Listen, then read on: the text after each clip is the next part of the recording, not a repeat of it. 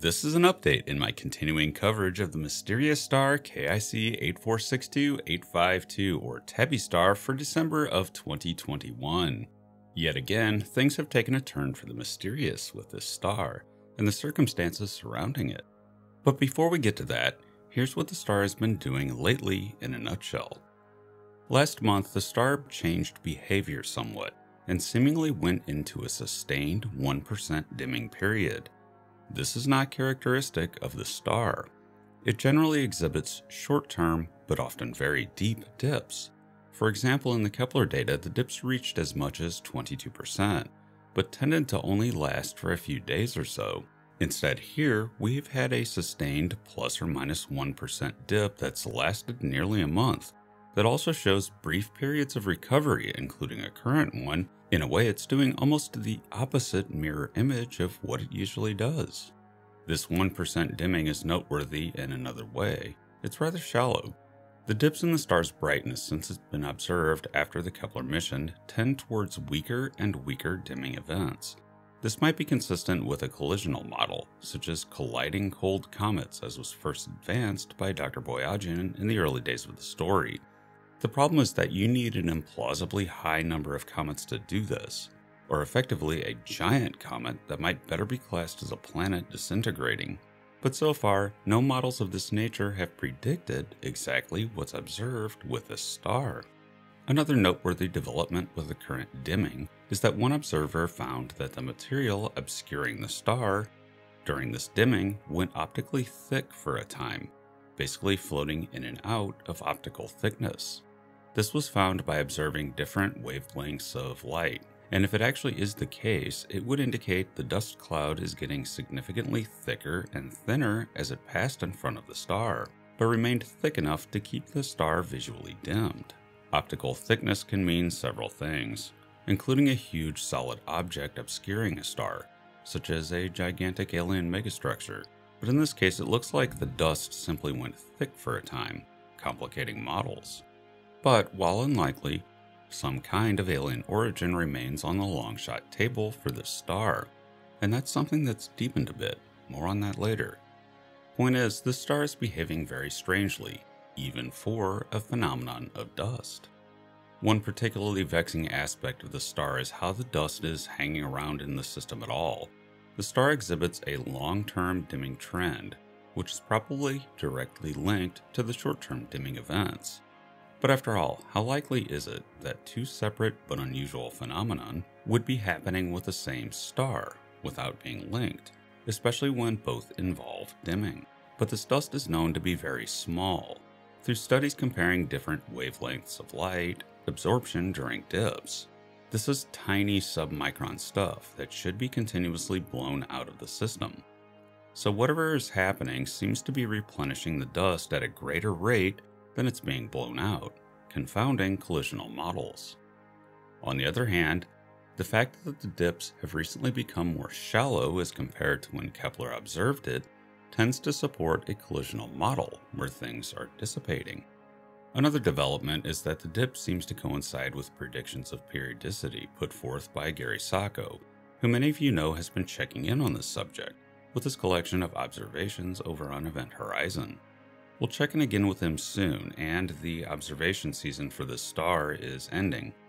But the establishment of periodicity is very important in figuring out what's going on with the star, such as if this could be some kind of phenomenon of interstellar dust, and we're just seeing this from line of sight, or if it's indeed in orbit around this star. Interstellar dust is unlikely because if it were that, we should see it also affecting nearby stars to KIC 8462852 from our line of sight. A cloud at night does not cover just one star. It covers all nearby ones from your perspective. Same with the galaxy. This is not seen, and whatever is happening is only having an effect on this specific point-like star system, suggesting that the dust around it is orbiting it. Establishing this orbit is key, because if Sacco is right in his paper, linked to all cited papers below, then the dust blocking Tabby star is orbiting it within the star's habitable zone. Evidence for this seems to be growing.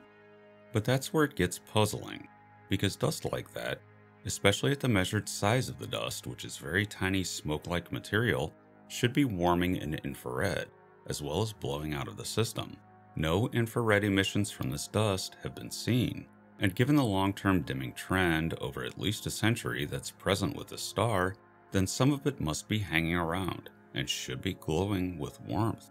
It's apparently not, but at least established periodicity will help in sorting this out, and perhaps shedding light on whether this dust is truly cold. The best natural hypothesis to explain the behavior of the star is some kind of rather odd collisional model, where cascades of material collide and create dust clouds. But it's hard to envision a method where this could do it continuously long term.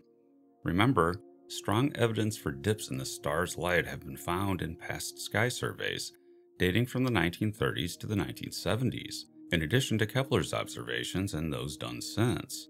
Whatever is going on is doing so continuously in some sort of prolonged process. What that process is remains very much unclear, and it may even get more unclear. And here's where the star itself hasn't thrown us another curveball, but indeed the galaxy has. In a paper by Edward Schmidt, he details searches he's done through past sky surveys to try to find candidates behaving in a similar manner to KIC 8462852. This is a natural thing to do. If you want to understand something, it's far better to have multiple examples to study and compare than just a single one. And he found no shortage of candidates reported across two papers. This is good news for characterizing Tabby's star, because now those candidates can be observed and monitored. If they are indeed due to the same phenomenon, then observers will be able to collect a lot more data on different candidates and get a much clearer picture of what could possibly be going on with these stars. Within this, there is also the possibility of a smoking gun answer that settles it once and for all, some clearer example of what dust in these systems is doing, what is creating it, and so on. But this also goes for the alien option as well. And that's where things get strange. The new paper reports 15 new candidates for stars behaving like KIC 8462852 Termed slow term dippers, the light curves of these stars are very similar to Boyajian's star, but there's something odd here. Two apparent patterns have emerged in this data that do not appear to be random chance, though more data and candidates are needed to go further with this. The first is the candidate stars seem to cluster, and more they seem to cluster in the general area of KIC 8462852. This is not what you would expect from a random distribution of stars. It, oddly enough, is what you would expect from an expanding alien civilization, evoking the ideas of potential mining operations being the culprit for the dust creation. But one has to be very careful here, because invoking alien civilizations comes with some severe problems. The biggest is Aliens of the Gaps thinking, where aliens can do just about anything, and thus you can invoke them to explain away anything. You need more to go on, and it just isn't here yet with these stars. But the clustering remains very odd.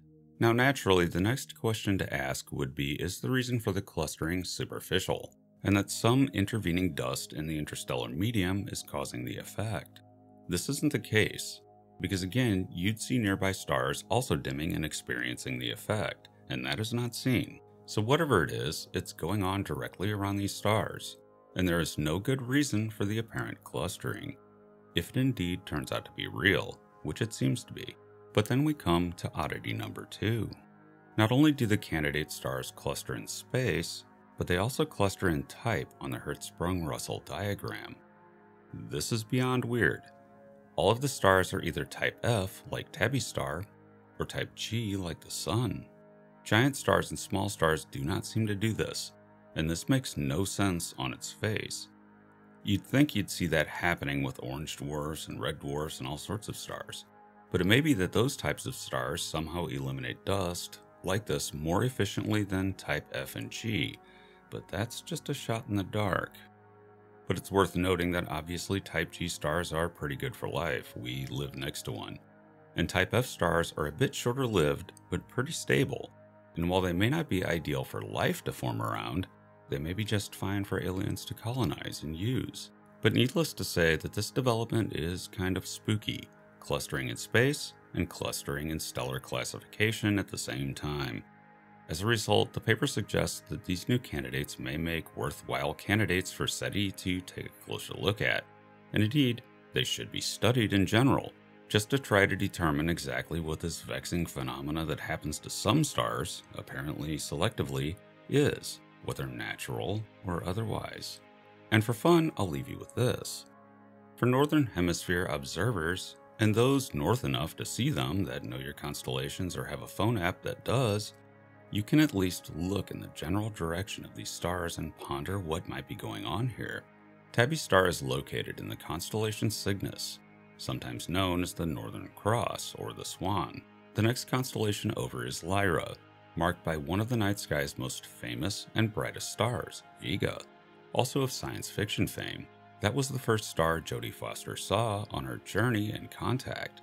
These candidate stars, while not naked eye visible, are clustered around the constellation of Lyra, with Tabby Star being just above the wing of the swan pointing towards Lyra. See Vega and you're in the right area. Interesting indeed, and it's something I do often when those constellations are in the sky. Thanks for listening. I am futurist and science fiction author John Michael Godier, currently musing about KIC 8462852 again. Just when you think we're getting a solid handle on what's going on with it, you suddenly find out you don't. That's been the case for the star since 2015, and I've little doubt that there are more surprises to come. And be sure to check out my books at your favorite online book retailer and subscribe to my channels for regular in depth explorations into the interesting, weird, and unknown aspects of this amazing universe in which we live.